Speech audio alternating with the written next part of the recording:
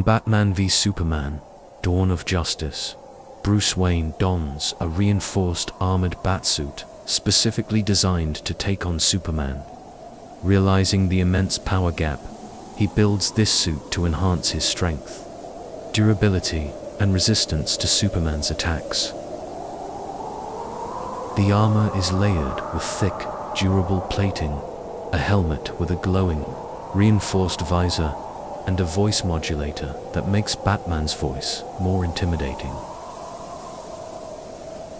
The suit also integrates kryptonite weaponry, including a kryptonite-tipped spear, his primary tool to weaken Superman. This iconic battle-ready batsuit reflects Batman's tactical mind and his willingness to do whatever it takes to protect humanity.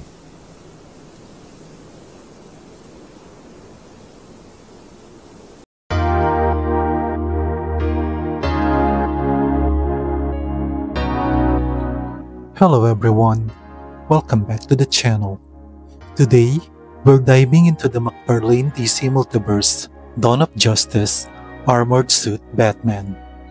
In this video, I'll break down the details of this figure and give you a side-by-side -side comparison with the regular and Platinum Edition releases. Let's jump right in. The figure stands at nearly 8 inches, about 20 centimeters, giving it a larger imposing scale. Here is next to the Action Comics Superman.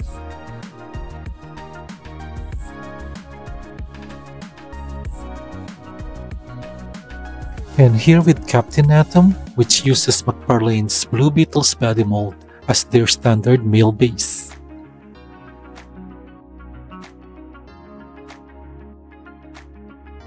One of my favorite features is the cloth cape. The tattered edges are a perfect fit for this rugged, battle-worn look. And I have to hand it to McFarlane for the seamless way they've integrated the fabric with the plastic. Very well done.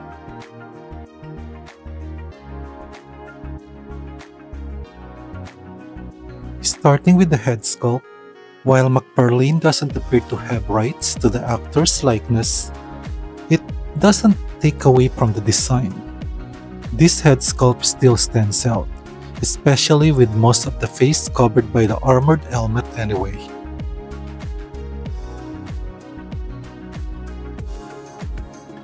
Overall, they've really nailed the battle-worn look, with intricate details, dents, and chipping on the armor that adds realism. I also like the matte finish on the armor enhancing the gritty feel instead of making it shiny and new.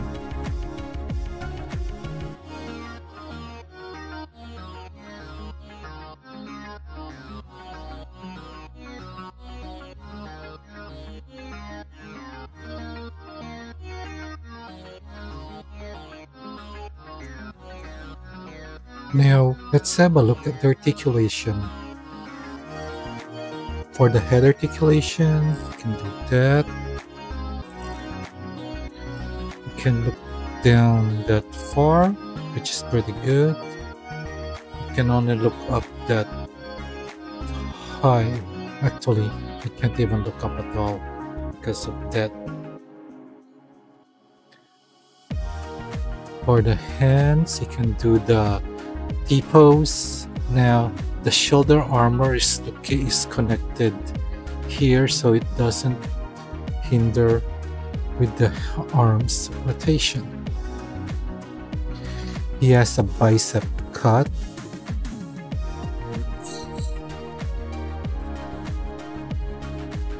which is very hard to rotate. Okay, there it is. And then at the same time, I don't know why McFarlane does this with their uh, with their figure, but he only has a single joint elbow. So the only reach for this is only that much. And then there's also rotation here. Then for the wrist, it's a double peg wrist, which can do that and that.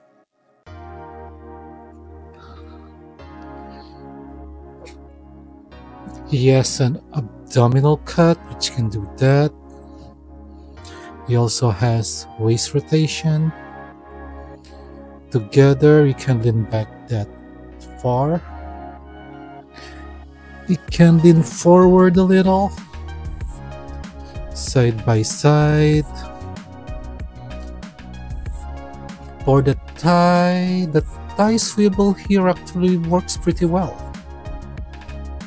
Then you can kick back, I uh, kick up that far, kick back that far. So for a guy in an armor, we can actually do the split. Double jointed knee. Then for ankle rocker, you can do that. Then toe articulation. Then you can also do the bend down, which is pretty impressive for a figure in an armor. Now, let's compare this with the Platinum Edition. Following McFarlane's logo guide, the silver logo marks this as a recolor variant. So if the darker gray color scheme isn't your thing, you can skip it without missing essential features.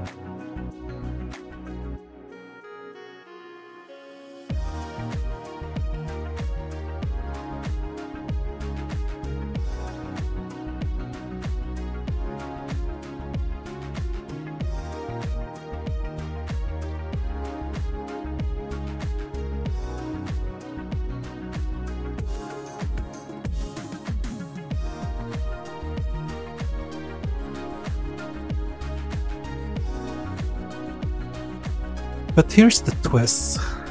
McFarlane only included the Kryptonite Spear with the Platinum Edition, making it a Chase variant exclusive. For me, this is a bit frustrating because it means that to get the key accessory, you have to hunt down a rarer figure, which could turn some collectors away. Personally, in my case, I've already started cherry picking my McFarlane purchases, sticking mainly to Batman, Green Lantern, and a few favorite DC characters because of marketing decisions like this that McFarlane does. In terms of accessories, aside from the spear, both versions comes with two alternate hands.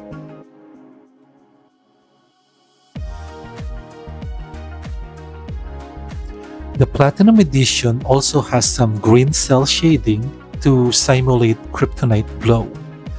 This restricts display options to a few angles depending on where the shading is applied. And also, just in case you're curious, this green cel shading is not glow in the dark.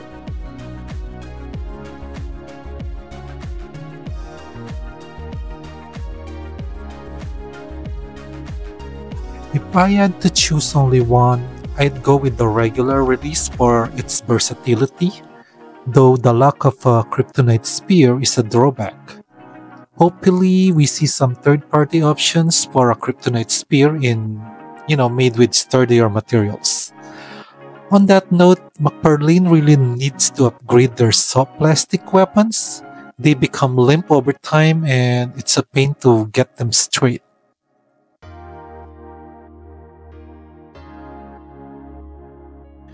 Overall, while both versions have their pros and cons, the decision on the exclusive accessory feels like a miss on McFarlane's part. Let me know your thoughts in the comments and if you're a fan of the Kryptonite look, does the Platinum Edition appeal to you?